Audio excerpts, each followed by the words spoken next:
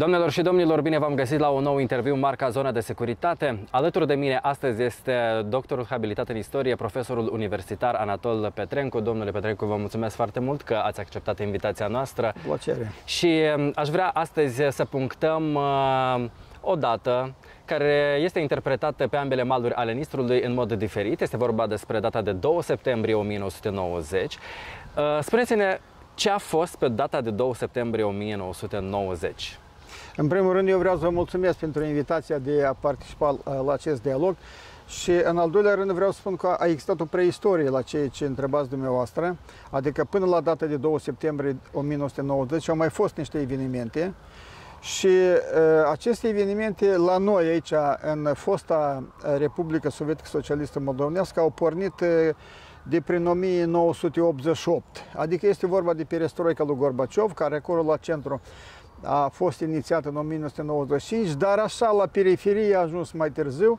Abia în 1988 au apărut primele articole critice la uh, politicile care se promovau aici, la chimizarea excesivă a solului, de exemplu, la uh, istoria noastră, la subiecte care au fost uh, ascunse, cum ar fi de exemplu, foamete organizată, deportările și așa mai departe.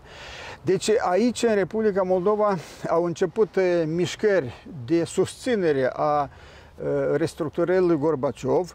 Apropo, azi a murit da. Mihail Gorbaciov, Dumnezeu să ierte, a fost o mare personalitate. Eh, deci el nu a fost anticomunist sau nu a fost unul care și-a dorit eh, destrămarea URSS. Ceea ce a vrut el să facă a fost eh, o modernizare a economiei. Pentru că, și o liberalizare. O, da, și asta nu putea să o facă dacă nu făcea exact. liberalizare. și iată, această liberalizare numită transparență a permis oamenilor să-și exprime puncte de vedere, inclusiv puncte de vedere critice la trecut, și alte probleme care au apărut la suprafață, dar care au fost mult timp ascunse. Și iată aici, la noi, în Republica Moldova, intelectualitatea noastră a pus încet, încet și problema limbii care vorbim, problema alfabetului, și pe data de 31 august 1989, exact astăzi, se împlinesc 33 de ani de, de la acea dată, atunci încă Sovietul Suprem al RSS Moldovenești a decretat limba numită moldovenească, limbă oficială, trecută la grafia latină și în legea cu privire la limbi, punctul 2 spunea că limba rusă este limbă de comunicare între naționalități. De fapt, nu era nimic altceva decât o copiere din Constituția URSS care spunea că limba rusă este o limbă de comunicare. Pentru Uniunea Sovietică era, era firesc să fie lucrul ăsta. Pentru RS Moldova nu cred că era cel mai bine și aici trebuie să, să menționăm lucrul ăsta, că Imperiul Sovietic a dispărut, dar legile au mai rămas încă. Să mai fac trimiteri la aceste legi. Aici încă un moment foarte important, numai decât trebuie să, să, să, să-l menționăm, pentru că se pare că aici au dat tonul pentru întreaga activitate de aici din Republica Moldova și mă refer la podul de flori, Așa. primul pod de flori. Din mai 1990 a fost o, o, un eveniment foarte important la care au, au participat 1.200.000 de oameni. Deci acești oameni au venit pe malul Prutului fără ca să fie plătiți de cineva, s-au îndemnați. Lumea a venit bazată pe sentimentele de solidaritate națională. Pe, au, au, au născut în Basarabeni sentimentele de, de românism. Și, bineînțeles, acest, acest eveniment a precedat prima mare adunare națională din, din vara anului 1990 și acolo a, a fost acceptată o rezoluție și rezoluția spunea la punctul, tot punctul 2 că limba care o vorbim și care trebuie să fie decretată este limba română. Nu s-au ferit de lucrul ăsta, limba română. Pe data de 23 iunie 1990 a fost proclamată suveranitatea Republicii Moldova în cadrul URSS, ceea ce însemna că anumite domenii de activitate, cum ar fi politica externă, politica de apărare, politica monetară și alte domenii, sunt prerogativa centrului. Iar în ceea ce privește viața economică de aici, de pe Internă. teritoriul Republicii, astea sunt prerogativa Guvernului Republicii Moldova. Deci asta este contextul care ne apropie de data de 2 septembrie, septembrie 1990, pentru că aici intelectualitatea noastră, oamenii patrioți care țin la neamul ăsta, s-au confruntat nu cu niște oameni necompetenți, pentru că cei cu care ne-am confruntat și s-au confruntat uh, uh, lumea noastră de atunci au fost oameni pregătiți, directori de întreprinderi, oameni cu studii, oameni și financiar puternic și uh, dacă erau directori de întreprinderi, aveau forță și materială, și financiară, și umană. Adică confruntarea a fost cu niște oameni competenți care și-au dat seama că încet, încet Republica Moldova poate să unească cu România. Adică acest slogan era rostit și, și s-a vorbit, chiar și în Parlamentul Republicii Moldova s-a vorbit, să nu votăm uh, independența, dar să votăm unirea cu România. As, frica asta uh, sau uh, îngrijorarea asta i-a cuprins și pe dânsii și ei uh, Eh, nu puteau să cedeze eh, teritoriile din stânga Nistului pentru că ele erau eh, bogate din punct de vedere economic. 60% din produsul intern brut se producea dincolo de Nistru. De Nistru da. Pe urmă, 90% din consumul energiei electrice se producea dincolo de Nistru. Electrocentrala de la Cuciurgan era construită în ideea să exporte energie electrică în țările Caierului, deci Consiliul de Ajutor Economic Reciproc. Bineînțeles că acești șefi de întreprinderi nu puteau să fie indiferenți de, de viitorul lor.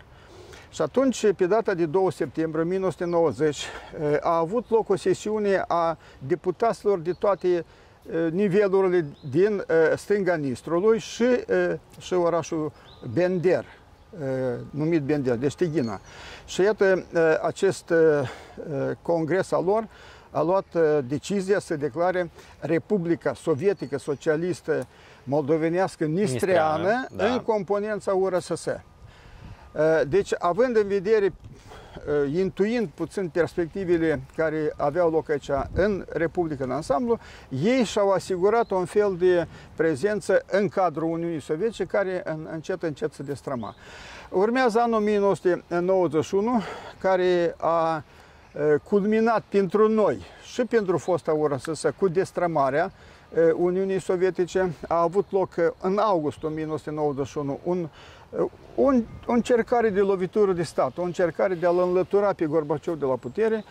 Această lovitură de stat a ieșuat, pentru că cei care s-au împotrivit au fost democrații din Rusia, în primul rând este vorba de Boris Yeltsin, care a protestat împotriva acestor nostalgici după regimul totalitar da. comunist. Lor nu le plăcea aceste reforme și această Eh, transparență care nu era foarte, să spunem, foarte primejdioasă pentru viitorul țării.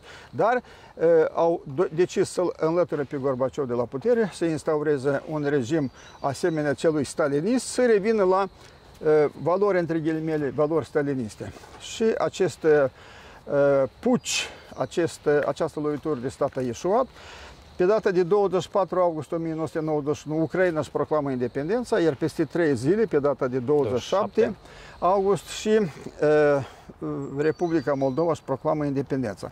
În același timp, uh, în, în Transnistria au uh, loc uh, de asemenea niște modificări Eh, ei și-au dat seama că Uniunea Sovietică, față de care ei au declarat că sunt eh, fideli și sunt devotați, iată că a dispărut.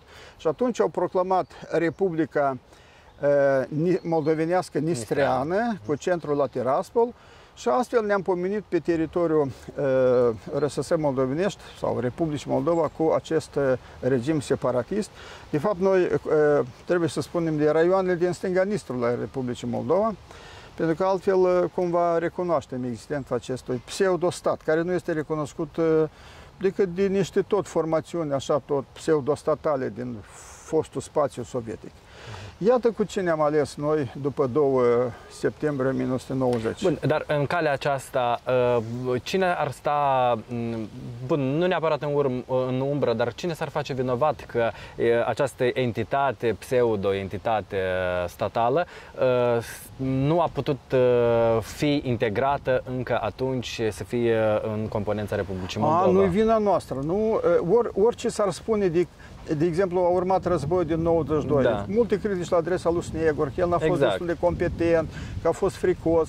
Deși uh, vedem foarte multe acte în care da. Snegor... Dar orice s-ar spune, cei care poartă vina, sigur că sunt, uh, sunt uh, oamenii politici din Federația Rusă, pentru că ei nu numai că au recunoscut, nu numai că au susținut, dar ei au încurajat permanent această formațiune pseudostatală sau această formațiune separatistă, Eh, spunând că există foarte mult armament la Colbasna, de exemplu, armata 14 trebuie să rămână în continuare ca să păzească eh, acest armament, armament să da. nu, nu fie eh, distribuit în alte locuri, să nu fie furat.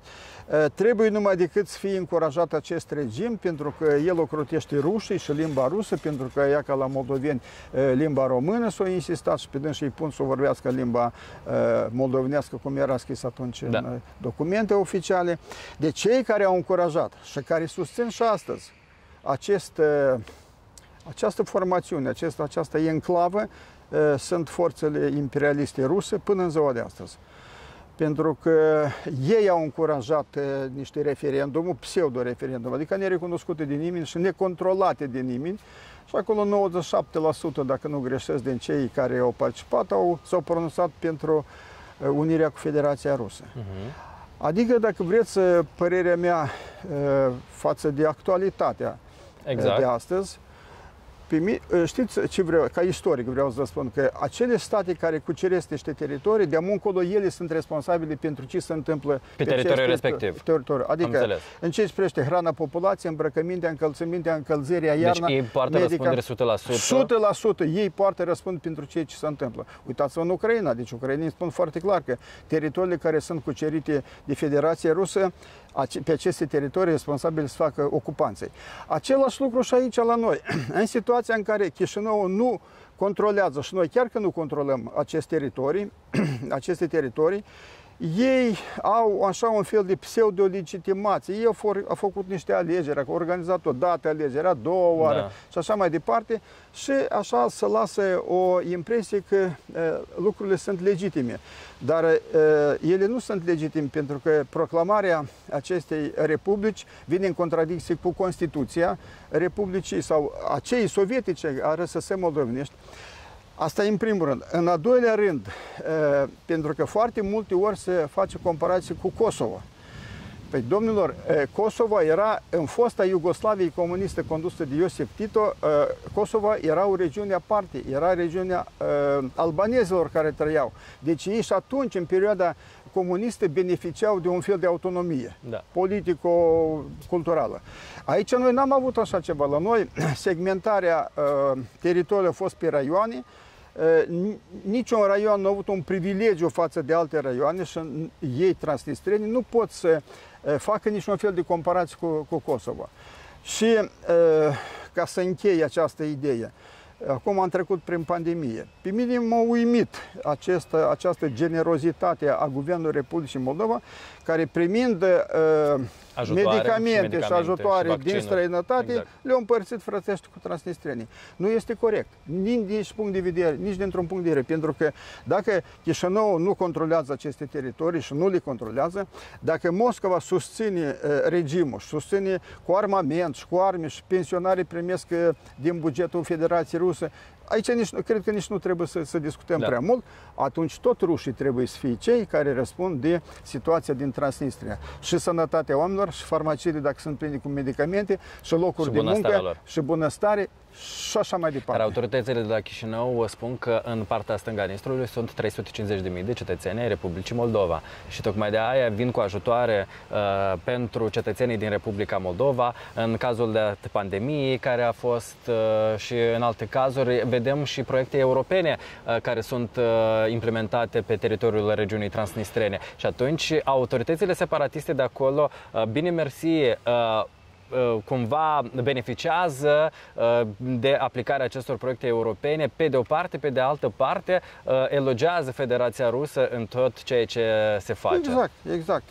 Deci în ceea ce privește organismele europene, noi știm care este poziția lor, să nu se verse sânge și poate că în sensul ăsta au un pic de dreptate, să nu moară oameni. Și eu sunt de acord, nimeni nu trebuie să moară pentru niște neînțelegeri. Aici cu titlul de informare, domn Petrenco, proiectele europene sunt pentru cet- la fel pentru cetățenii pentru cetățeni, de da. acolo. Și ceea ce spuneți dumneavoastră, că avem uh, uh, moldoveni, români în da. Transnistria, uh, localități, știm foarte bine, de unde suntem noi convinși că medicamentele ajung anume la dânșe, dar nu ajung la coșul de gunoi și că îi luați Sputnik, e mai, mai bun decât cei din Europa, în situația în care tot ce este european este criticat, tot ce este... Adică să nu fim niște naivi, să le dăm lor medicamente pe care ei nu le consumă, pentru că ăștia sunt din Occident și Occidentul este în putrefacție și este așa cum este. Ia uitați-vă, medicamentele rusești sunt mai bune, știți? O s-a dus controlul ăsta până la sfârșit, nu s-a dus. Și atunci asta este uh, problema. Dar încă ceva, la ceea ce spuneți dumneavoastră cu uh, organismele europene, știm poziția lor. Dar ceea ce este foarte important, nu avem o poziție clară a, a, a Republicii Moldova. Noi, de fapt, ce vrem? atunci când avem o problemă, noi vrem să ne integrăm în Uniunea Europeană, avem statut de pretendent la admitere, ceea da. ce este un lucru pozitiv și, și un lucru susținem, mare. și da. mare, susținem lucrul ăsta. Așa.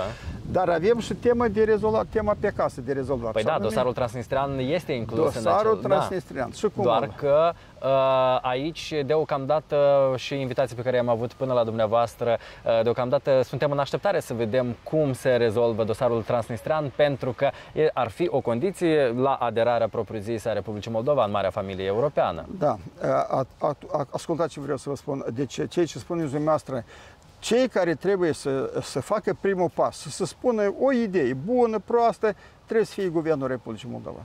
Maia Sandu, președinte, ea să facă o conferință de presă sau cum vrea ea la un meeting, spune, domnilor, iată ce cred eu despre Transnistria.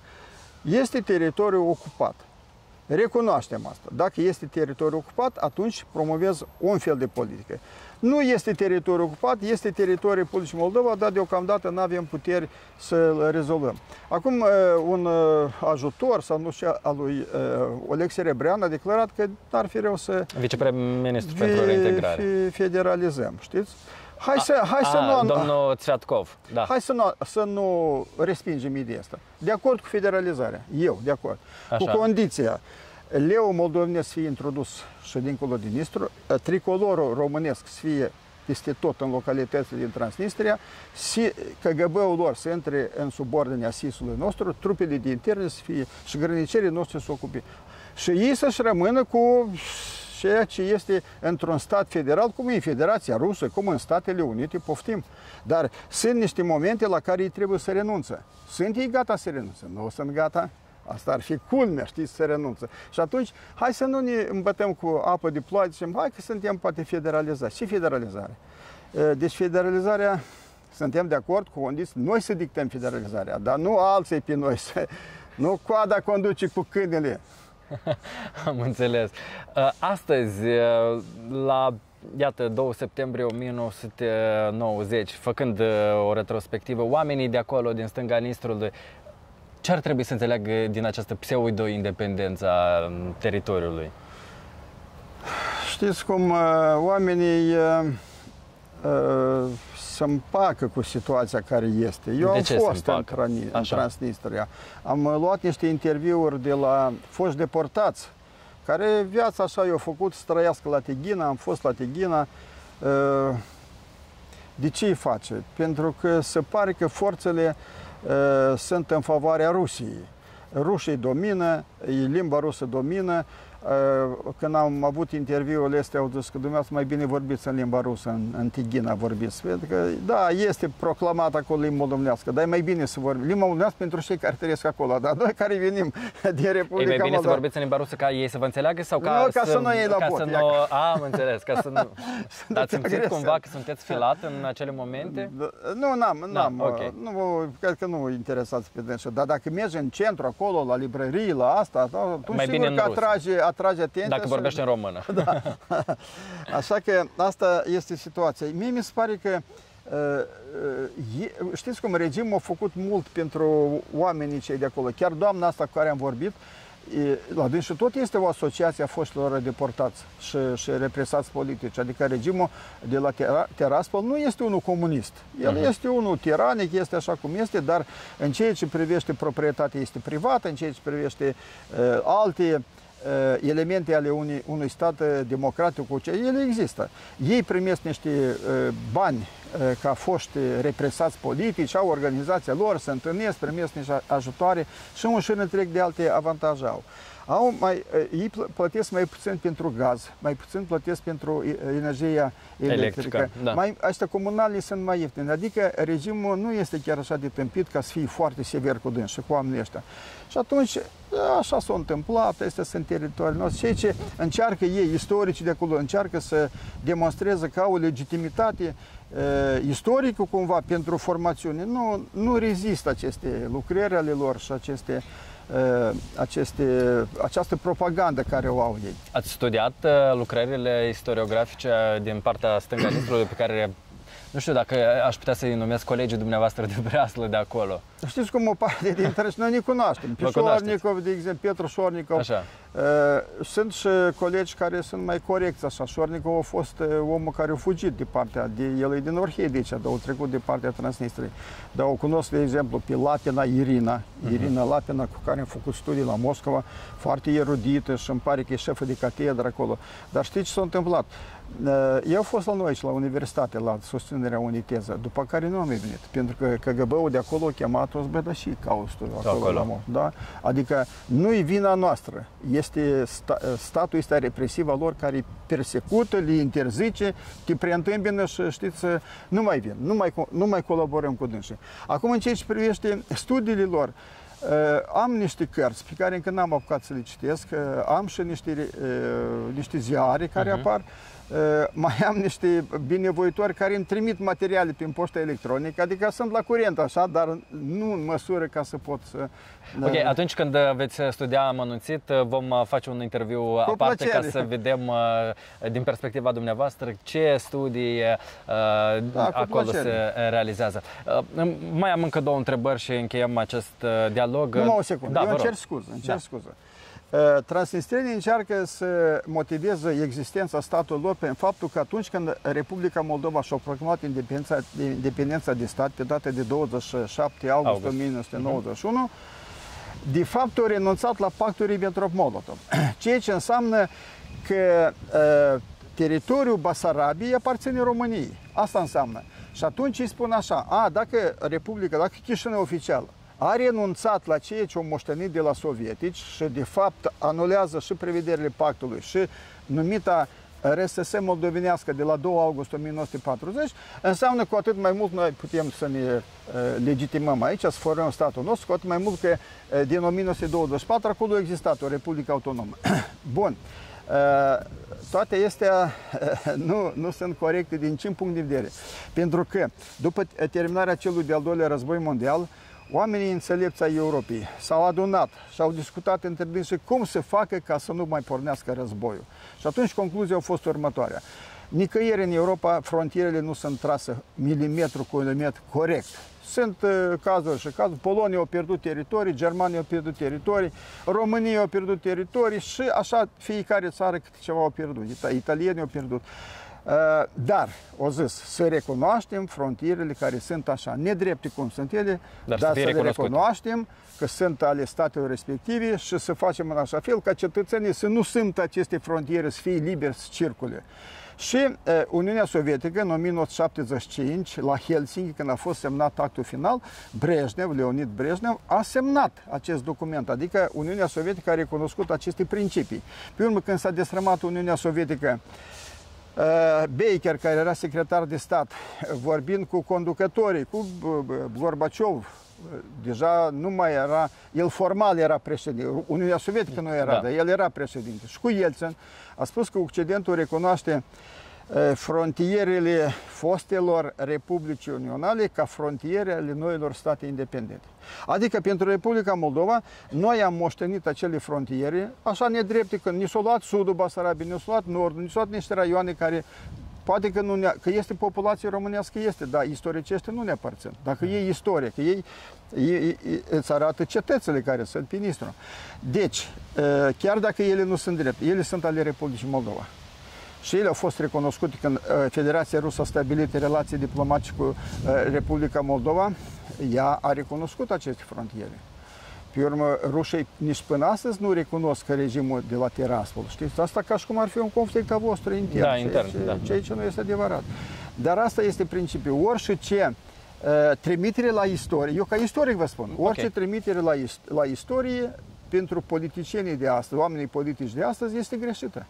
Pentru că nu de la asta trebuie să pornim, să pornim de la niște înțelegeri uh, internaționale, de la dreptul internațional, tratate care s-au semnat și recunoașterea acestor tratate. Ia că de, de unde spunem, sau ei nu recunosc. Da. Referitor la teritorii, iată, pretinsul lider de la Tiraspol, Krasnoselski, a venit în nu știu a câta oară cu o solicitare și Ignatiev, pretins ministrul de externe din regiune, către autoritățile de la Chișinău, mai cu seamă când noi am depus cererea de a fi pretendent la UE. Uh, ca să ne dezicem într-un fel sau altul de regiunea sau să recunoaștem independența regiunii transnistrene uh, și pentru că uh, cei de acolo, din stânga Nistrului, mă refer la pretinse autorități, s-ar teme, le-ar fi frică în cazul în care Republica Moldova va fi parte a Uniunii Europene, regiunea independentă, cum ei o califică, nu va mai exista și da. ei uh, solicită Republicii Moldova, autorităților din dreapta Nistrului să... Uh, am înțeles, da, am înțeles. Frica lor este bine întemeiată. Bineînțeles, Republica Moldova va adera la Uniunea Europeană mai devreme sau mai târziu și eu sper și, și în NATO să, să intre. Pentru că nu poate fi România în NATO, Ucraina pretinde să fie în NATO și probabil că va fi în NATO sau va fi una din cele mai înzestrate state din, din Europa, din, din punct și de fiind înconjurați de... Și, da, da. Și, fi, și noi rămânem aici Republica Moldova nici încolo, nici încoace. Deci, încă o dată, trebuie să le spunem, lui Krasnoselski și echipa care este. Ei sunt nelegitimi. Republica lor a fost proclamată în, în contradicție cu Constituția care am avut-o noi, legea fundamentală, bună, rea cum a fost atunci, ei au încălcat Constituția. Smirnov trebuie tras la răspundere. Eh, dar știți că a fost prins, pe da. urmă eliberat, asta da. e altă poveste. Așa că uh, ei nu au decât să uh, recunoască realitățile și politica externă a Moldovei. Ar fi culmea acum Moldova Adică acum, integrarea noastră depinde de dânsii, vor să se integreze, nu, pe dânsii, democrația înseamnă că minoritatea supune majorității. Noi suntem majoritari. Noi decidem aici. Și o să ne integrăm cu tot cu Transnistria, așa cum este. Este altceva că uh, Chișinău trebuie să dea dovadă de caracter, de putere, de, în primul rând, să știe ce vrea. Pentru că nu poate pentru că nu poate un oficial al statului să spună că noi suntem gata de federalizare, pe urmă apar alte comentarii, dar nu asta e părerea lui personală, nu poate să existe așa ceva, părere personală. Atâta timp cât tu reprezinți o instituție. Exact, exact. exact. Așa că această dorință, sigur că este o, o, o șmecherie aici din partea lui Krasnoselski, adică băieți, noi vă permitem să...